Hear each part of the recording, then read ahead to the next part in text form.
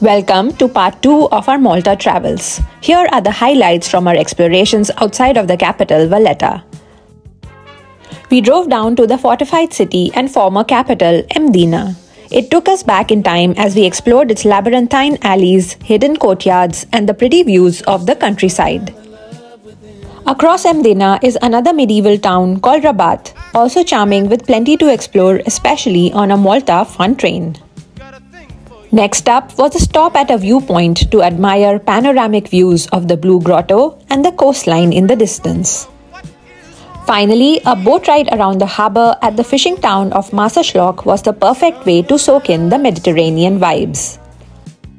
Save and share and check out the full video on our channel. It's linked out below.